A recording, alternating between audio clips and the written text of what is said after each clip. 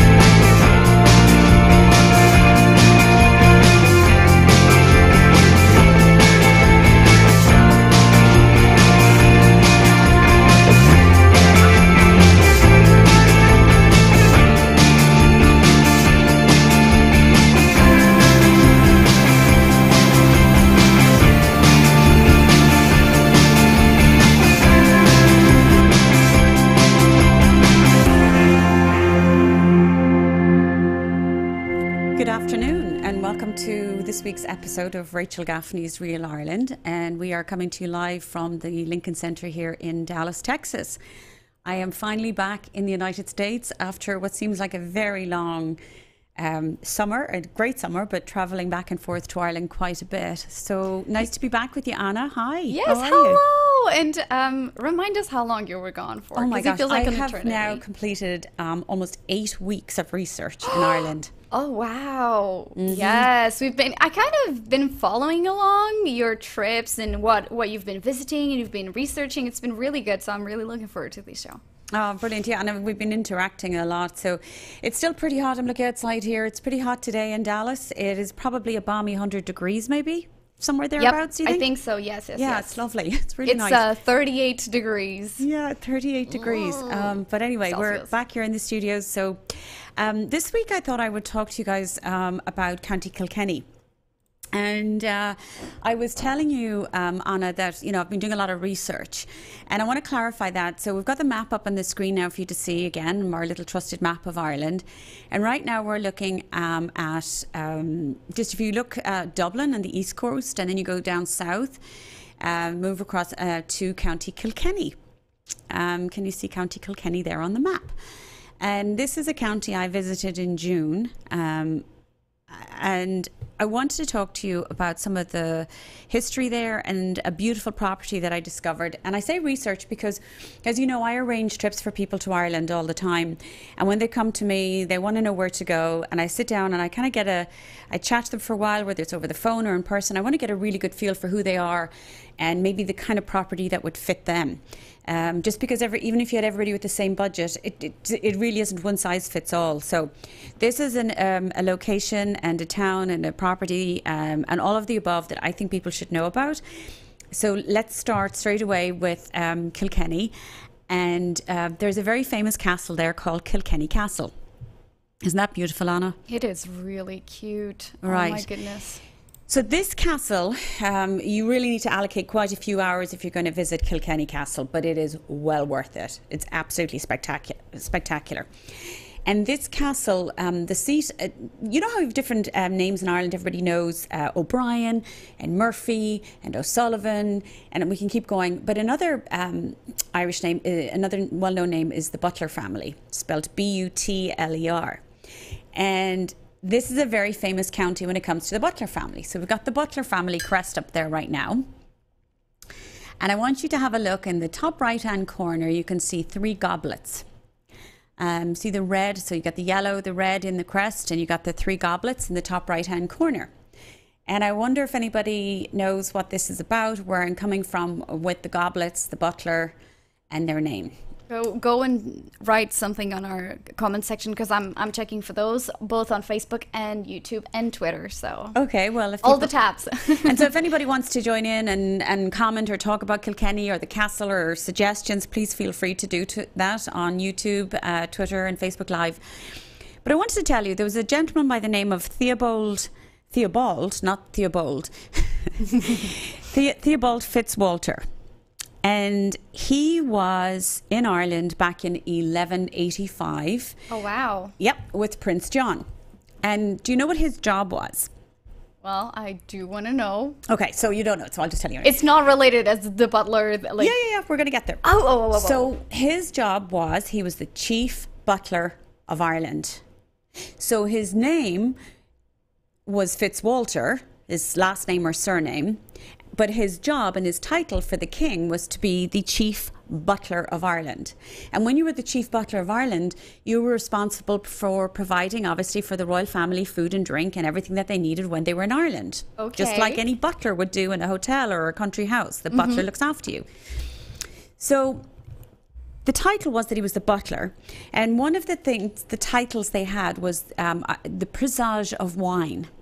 So that was one of their coveted roles, and it was after the king's coronation. They he, it was this particular gentleman, this butler, that would present that very first goblet of wine to uh, the uh, king. Oh, So from there, it evolved from just being a butler to the family name becoming butlers.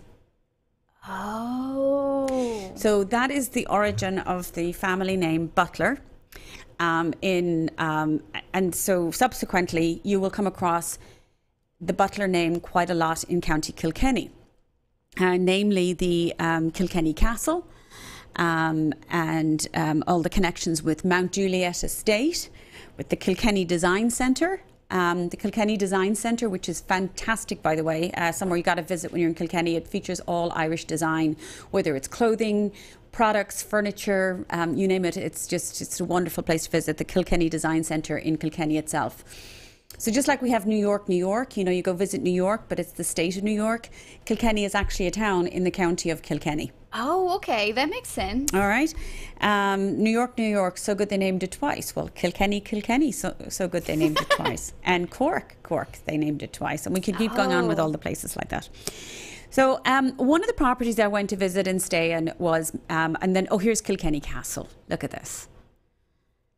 And you can see why you need to allocate quite a few hours to enjoy yourself and, you know, really enjoy going around the grounds and you, you know, just taking it all in. You can't do drive by. You can't kind of go into Kilkenny Castle or Kilkenny and, you know, just be in, in and out in an hour. So that's why I'm always trying to get people to stay put or stay in a region for a few days or, you know, whatever. So I decided to go visit in Thomastown, County Kilkenny, a place, a property uh, which I absolutely love, hands down, love it now. It's called Mount Juliet Estate. Now, this is the back of Mount Juliet Estate. Um, it overlooks the River Nore. So the River Nore runs across or through this property, through this land, and this estate, the Mount Juliet Estate, has over one and a half thousand acres. So it's pretty spectacular. It really is. Um, I, I took lots of photographs while I was over there of, you know, when you go inside, okay, that's the restaurant, that's Lady Helen's. And you can see the picture up in the wall from Lady Helen herself and on the menu and everything. And then uh, the beautiful reception lobby area, which is just, you know, very ornate and um, elegant. Now, this is the main manor house. This is the main house. So, this is Mount Juliet, the house. So, uh, when you go to at Mount Juliet, you have two options. You can stay in the house or you can stay in the, um, they have a second building, which is, um, oh my gosh, I think it's the Hunter's Yard, it's called.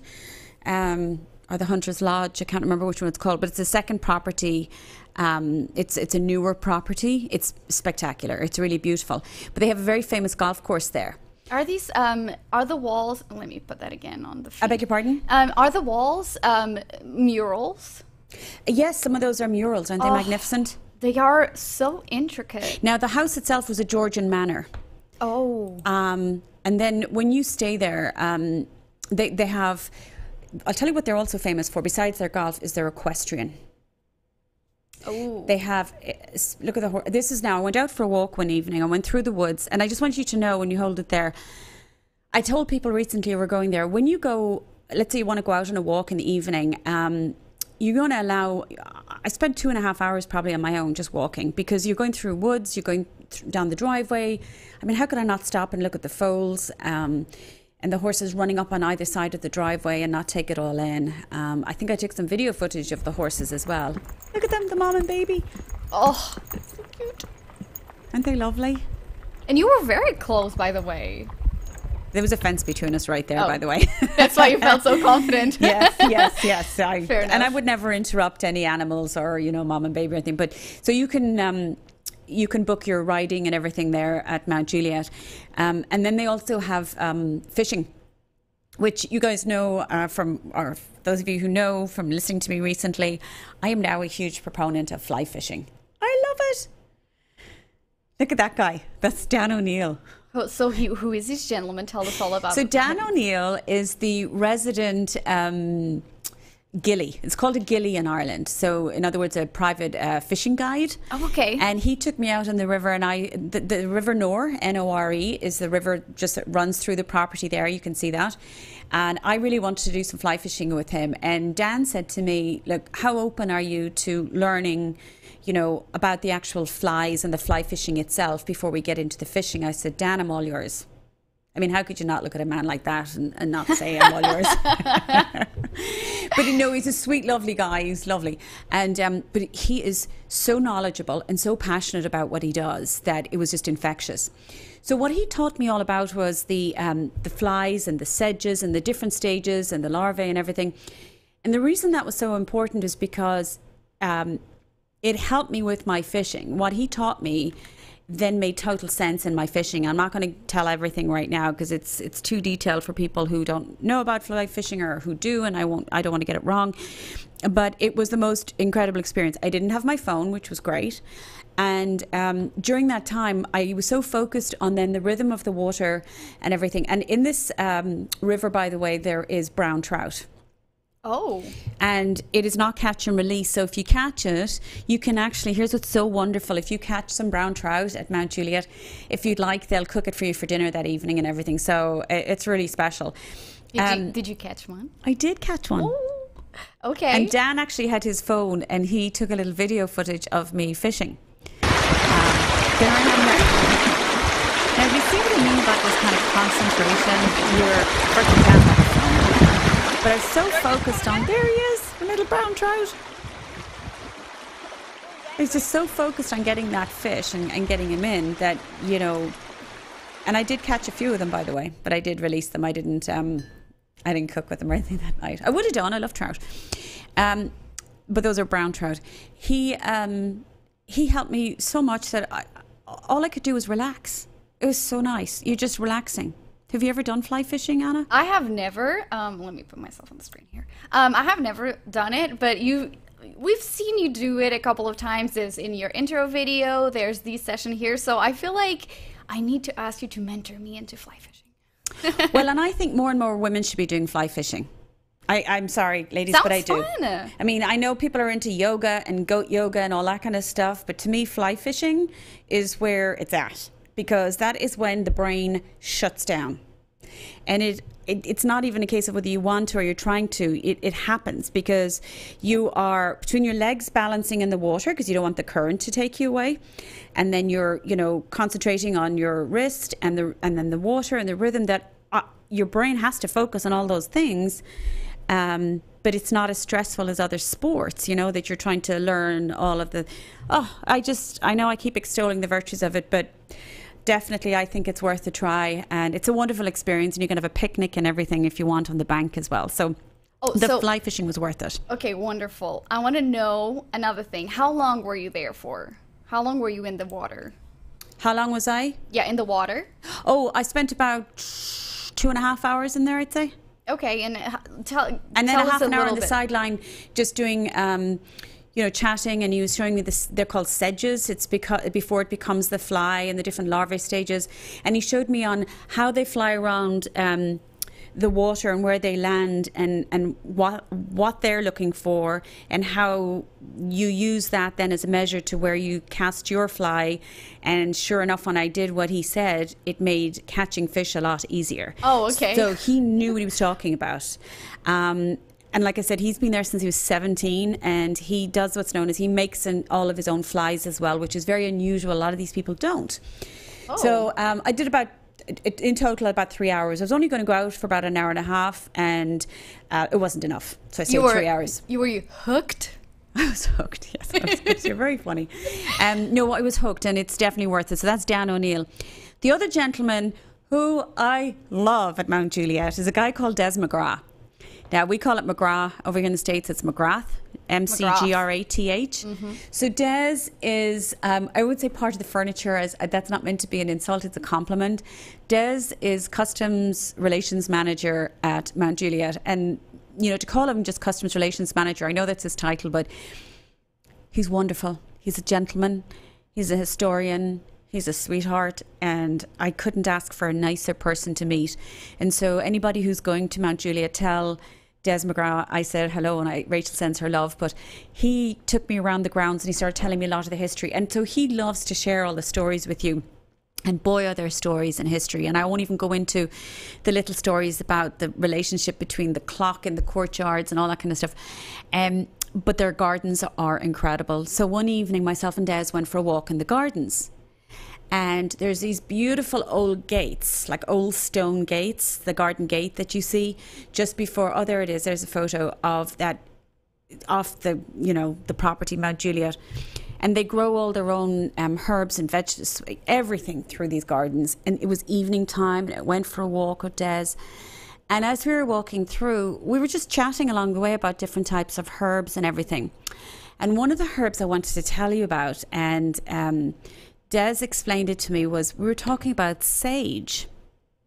So I decided to record him telling me because obviously he, they have a lot of interesting guests staying at Mount Juliet as well and they had had a herbalist from Sweden. And some of these herbalists, as you know, are just fascinating. And I'm I'm very much into that now, the holistic medicine, and um, just because I have suffered from autoimmune diseases myself, and in the last two years changed my lifestyle advised by a doctor and I am off all medications and take nothing and no heart meds nothing so I'm very I've nothing to sell but I I believe in food being your medicine um, and so he was telling me about the sage. So maybe we'll just let him tell us um, himself in his own words. One, the green leaf. Okay. Hold that. Mm-hmm. And down here. Sage. You have the purple sage. Okay. Mm-hmm. So the purple sage is your ordinary sage, but with the with the the plain green leaf I'll just show the two of them to you. The plain, the plain green sage leaf is ideal for people who are diabetics. Really? Or have high sugar level content in their blood. So we get rid of the purple sage because it's natural, but by using two or three of these leaves a week, right? Two to three leaves, wash them, chop them up, or just tear them apart and put them on your salad. It reduces the sugar level in your blood. Really? a herbalist was here from Sweden last week, and that's how I know. Isn't that very interesting? I loved it. Yeah, I love those little nuggets of information again. And I'm going to probably never stop doing this or saying this, but unless you stop and take time in the properties um, that you're visiting or these special places like Mount Juliet Estate, you can't really treat it like a bed and breakfast. Um, because if you kind of rock up the driveway at seven or eight o'clock at night, check into these hotels, and then you leave again in the morning after breakfast, you've missed a whole world in some of these properties. Some of these properties are just destinations. Um, Ashford Castle, Adare Manor, Dromoland Castle, Park Hotel Kenmare, Mount Juliet Estate, just to name a few, are definitely destination properties. Okay. Now, I'm sure they don't mind taking your money if you want to just stay for bed and breakfast. I'm just saying that you are robbing yourself of some incredible history and um, wonderful experiences. So, um, that was one of the things. And then we when we were walking through the gardens, um, I forget what he called it. I think it's called a Chinese moon or something. It's a big circle. There it is. Look at that lovely circular wall. That is really interesting, and how they got to do it. I know. Like architecture wise, is is just fascinating. Uh, somebody might be able to uh, let us know, um, but it's called. I think it was called a Chinese moon or something to do with the moon. I'm Let sorry that I've forgotten it. now, but um, it was just one of those other beautiful attractions um, in uh, Mount Juliet. So you have golf, you have treatment rooms, you have equestrian, You have, oh, and by the way, the golf course is spectacular. And the, the golf course is what they call a parkland course. So it's not a links courses. Links courses are the ones that are along the coastlines in Ireland with the sand dunes. The parklands are more of a course that you'd expect here in the United States. Um, it's it's magnificent. Tiger Woods won uh, one of the American Express Championships there at Mount Juliet. I mean, they've hosted a lot of special tournaments. So golf is something. And also, will I let you guys into a little sneak peek, uh, little secrety thing? I am actually working on something for 2020. Notre Dame are playing Navy on August the 29th in Dublin in August 2020, as a lot of people know. And I'm putting together a trip that is for Dublin and Kilkenny. Um, I can only take 40 people, 40 maximum, um, which will be an allocation of about 20 rooms. And Mount Juliet will be involved in this. And some very, very special, um, I can't say what yet, but I have a special guest that will host us at Mount Juliet. I have some special dinners. So that's just something else I'm working on right now for 2020. And I'm also working on a luxury VIP ladies fashion trip. What do you mean Fashion. fashion trip. Tell me more. So it's going. Um, the clue is that it'll be fashion, fashion Irish fashion designer, um, or designers. A very very famous florist. Um, it'll have something to do with gardens, castles. It'll be it'll be very fun. So it'll be culture, fashion, food. But um, that will be for. So those two trips I'm working on are for the fall of 2020. So if you're interested in knowing any details, send me an email or comment on Facebook, and I'll add you to that list or database. Um, you know how every week I like to talk about my, you know, or whenever I can, I like to talk my favorite finds and everything. Um, I talked to you guys before about Jo Browne, who I love. And uh, this is uh, Jo Browne is in Carlow, and I just love her uh, her skincare range. Well, it started with Jo. It started with her um, what do they call it? Uh, stick perfume. And she was always a lady who wore stick perfume, and she couldn't find uh, stick perfumes anywhere. So she decided uh, to start her own. Um, and this one is the floral one. You can't smell it, obviously, but I, I can. Take our word for it. It It's smells amazing. is lovely. Lemongrass and wild jasmine is this one. She has oriental. I have oriental and um, floral, but this one is um, look at the packaging. So it's all So organic pretty. and sustainable and what they call clean beauty. So if somebody had, let's say, eczema or psoriasis or any skin conditions, they can actually use this perfume as well. Um, the packaging is all made out of bamboo. Isn't this lovely? So when you buy the perfume, you just put it in like this, and then this is your little gift pack. And it's it's it's pretty practical. Also, if you're flying a lot, you want a perfume that won't be a problem when you're carrying your liquids and all the things. Oh yeah, and this is beeswax. Um, and so all her packaging is sustainable. It's all, it's all um, we use that throw that word around loosely, but I will say this: I noticed when I was over there, my God, they are streets ahead of us on sustainability Yes. and um, in Europe. I know people don't like to hear that, but it's just true. You know, with plastic bottles. Although I did see yesterday, San Francisco have decided that they're going to ban the plastic bottles in the airport. So anyway, I'm not I'm not on this show to talk about that, but I just appreciate people who are doing their bit for the environment because I think if we all do our bit, it, it does go a long way. And I love the fact that we're not going to have all this plastic packaging and everything. This is bamboo. So her face cloths or her washcloths are bamboo as well, which means they're antimicrobial. So I'll put the link up, but I do have some of it's these already available. there. It's already there. Pardon? I just put the link already. Oh, you're so good. mind reading. What did I do without you? Um, so they, because her soaps and her facial bombs and everything, I have them all in. I'm ordering more from my Christmas pop-up shop. So, oops, did I say that out loud? I'm hosting an Irish Christmas shopping event in November this year. Details Oh, to follow. I love it, especially because in Europe, let me put that myself on the screen. So- Especially because in Europe, it's so big. People love local markets, and I feel like we definitely love going going to that market to find out all about those products. Yeah, for sure. And I'm just trying to bring Irish products to Dallas as well, um, to the States. So I, on my seven or eight weeks over there, was researching a lot of products, and I have product on its way over, and I'm about to place a lot of orders over the next few weeks. Um, things to do with fashion, beauty, food, um, the home, you name it. So um, watch this space for that.